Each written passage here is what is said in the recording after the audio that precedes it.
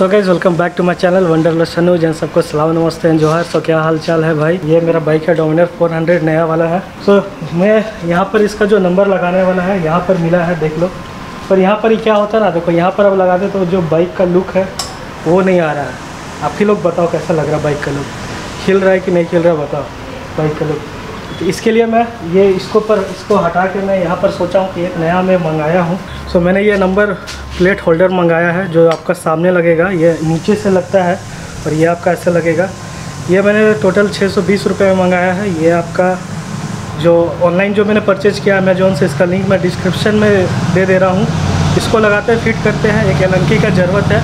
कहाँ कहाँ लगेगा मैं आप लोगों को बताता हूँ। देखो। यहाँ पर दो देखो वोल्ट दिया हुआ स्क्रू दिया हुआ है, ये इसको आपको खोलना है तो दो यहाँ पर ऐसे लग जाएगा आपका, और एक आपका इस इस साइड यहाँ पर लगेगा। उसके बाद बताते हैं आपको बाइक का लुक फिर कैसा आएगा क्योंकि यहाँ पर देखो, ये नंबर प्लेट मैंने लगाया था क्योंकि मुझे नट्टा पहाड़ जाना था तो ये मैंने बाहर से ही मंग लिखवा लिया था। अभी जो नया आ रहा है देखो, ये मुझे आरटीओ की तरफ़ से आया है, इसमें आपको इंडिया अभी जो आ रहा है, लिखा हुआ आ रहा है, ऐसा देखो, ये आ रहा है तो इस किसी को भी लगाएँगे यहाँ पे ऐसे।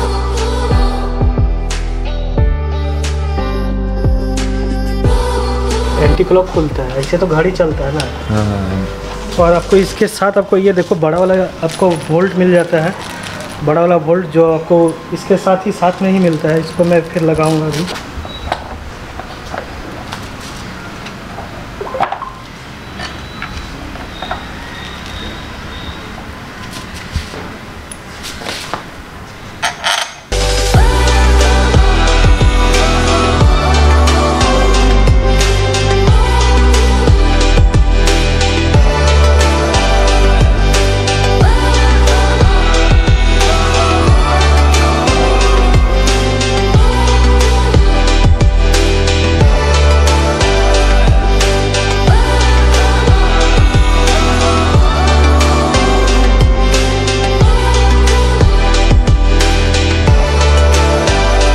तो भाई लोग, आप बताओ बाइक का आगे से लुक कैसा लग रहा है?